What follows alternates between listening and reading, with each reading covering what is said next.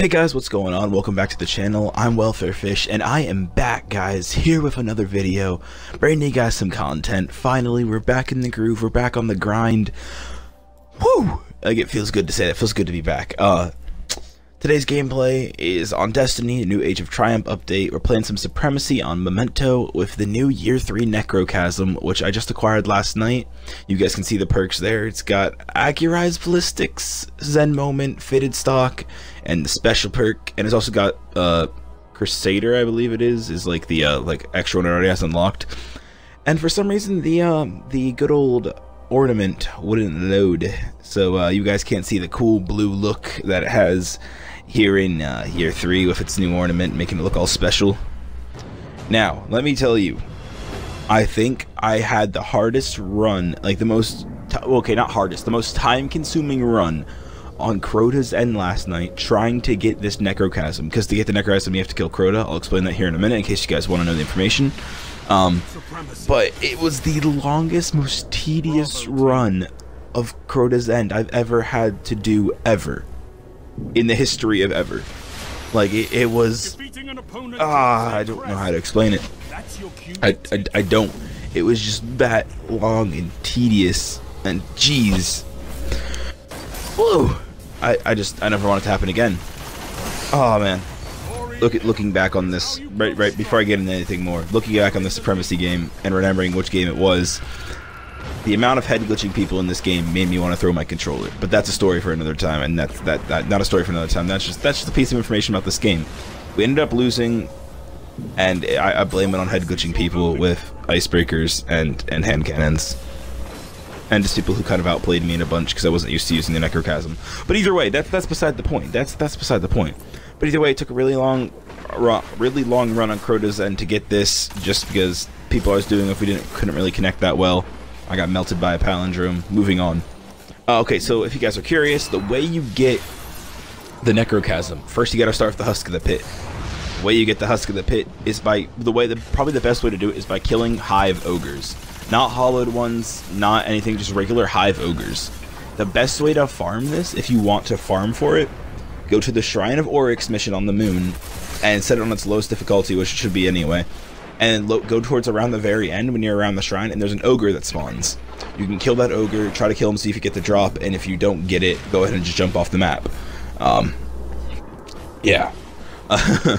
yeah, that's that's what you do there. And once once you get the husk of the pit drop, you uh, once you get I can't speak today, guys. I apologize.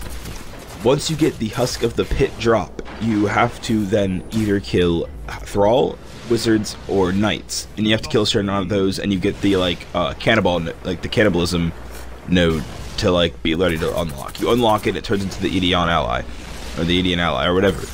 And you have to go. To, then you go to the speaker. He gives you some, some motes of light. You level up the uh, Edion ally all the way. Then you go to Eris, and Eris is like, "Yo, you got to do some things for me."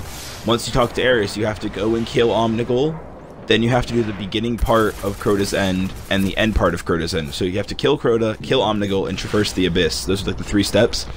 Once you do that, you go back to Eris, and Eris is like, "Oh, hey, look, here's a here's a shiny green orb," and you use it to level up and get the Necrochasm, like upgrade it and get the Necrochasm, and that's how you get the Necrochasm. Necrochasm, Necrochasm, Necrochasm. Um, all in all, the Necrochasm is a pretty fun gun after getting it. Like you won't be disappointed if you if you go for it because it's not a hard quest either. So if you go ahead and get the get the gun, you're not going to be disappointed by it. Because um, first off, they buffed auto rifles in the latest update, uh, like patch, and then as well as they changed the cursed thrall explosion at the end, so it no longer requires requires critical kills. It just requires any kill and it'll explode. One thing with PvP is it can be kind of delayed. Like if you're shooting into a group and you kill someone, like it might not go off right away because like it triggers one but it like, doesn't know when it's going to go off. Like and so and that part of that could just be like um you know like game lag stuff like that. But that's the one thing I've noticed at least PvP wise is like the cursed thrall explosion doesn't always go off right away. So that's the one thing that I've noticed. But besides that it's a pretty strong gun. Like if you like uh doctrine archetypes or like soul stealer's claw stuff like that like high fire rate you're definitely going to enjoy this I believe it hits like 12 to the body, as you guys just saw, and I think 16 to the head, from what I've seen, 16, 15 to the head. So, it, it works pretty well in that regards. I think this is where I whiffed the super. I think so. Yeah, because I jump up and I'm like, oh, hey, look. And then I had turned my stick and it went off. I was really sad. Oh, but yeah. I mean, I'm not too good at the Necrochasm just because I wasn't used to the recoil pattern of using high rate of fire autos, but if you like that, if you like high rate of fire autos, you're going to like the Necrochasm, and it's definitely worth like that exotic slot, you know, using it. Along with that in the raid, I also got the Adept Word of Crota and the uh, Oversoul Edict, so if you guys want to see gameplay of that, just let me know down in the comment section below. Uh, but like I said, it's great to be back and recording. Like I, I plan on having a more consistent schedule of like what and I say and I say schedule, but more consistent uploads of just like one to two videos a week. I can't believe we knocked that crest off the edge. Jesus. Uh, but like one to two videos a week, and so that way I'll probably have like if I do only do one a week, it'll be during the weekends, and if I do two, it'll be one during the weekdays, one during the weekends, and that way we'll kind of keep the content going, keep you guys, um, you know, kind of flowing of things to watch as it comes to the videos, because um, like you know that's just what I want to do. I want to make sure you guys have good content to watch. Cause like the last thing I uploaded was like that Titanfall 2 like mini montage that I did, which I thoroughly enjoyed like editing through and stuff. I mean, my editing on it wasn't the best, so that's something you know I can improve upon. But uh, I just enjoyed putting those clips together and playing that like Titanfall that weekend, like playing Titanfall that weekend and getting all those clips because it was fun. Uh, just kind of different game, different pace. But now that Destiny has this new update, I plan on doing a bunch of Destiny stuff as well, PvP, PvE.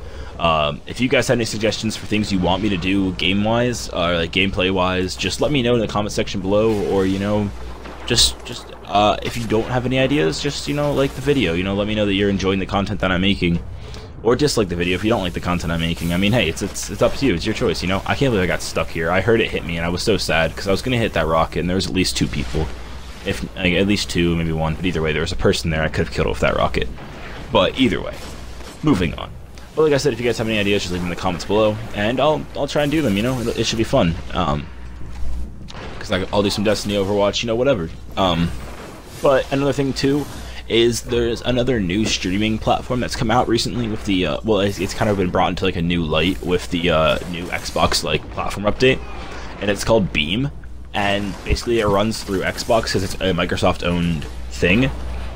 Ugh, excuse me, my like nose is freaking out right now. Alright, so it's like, like I was saying, it's like an Xbox owned thing, and basically the way it works is it's more interactive with viewers because the stream delay is less, and that way you know can actually interact with your viewers, which isn't hard when there's not a lot of like when there's a few of them. But once there's a lot of them, it's really hard to interact with everybody, so it kind of like keeps the chat rolling and like is more interactive with the streamer to his viewers. And, but the thing is, it's less well known, so I'm gonna be messing around with it a bit. I think we'll see what happens, and then I'm still gonna be messing around on Twitch here and there.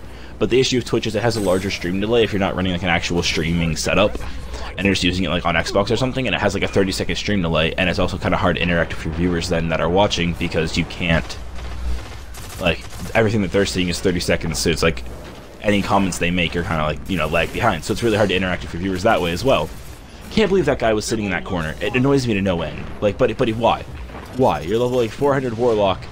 Your Warlock looks super dope. Why? Why? Also, I apologize for any like weird slurp, like any noises because I'm kind of sick, and so I apologize. Oh, I hate being domed by a Spreaker.